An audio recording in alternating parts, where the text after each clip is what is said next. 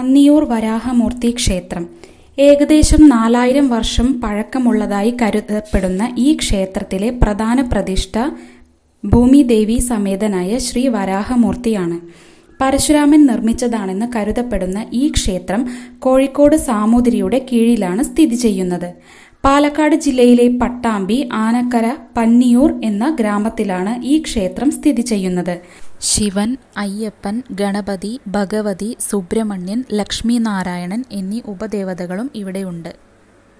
ഭൂമി സംബന്ധമായ ദോഷങ്ങൾ മാറുവാനും ക്രയവിക്രയങ്ങൾക്കുള്ള തടസ്സങ്ങൾക്കും ഭക്തജനങ്ങൾ ഇവിടെ എത്തിച്ചേരാറുണ്ട്.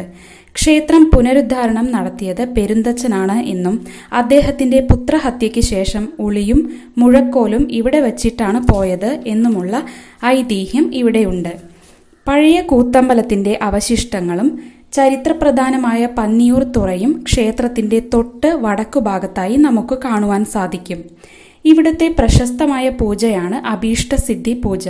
ഇതുകൂടാതെ ഐശ്വര്യ പൂജ ലക്ഷ്മി നാരായണ പൂജ എന്നിവയും നടത്താവുന്നതാണ്.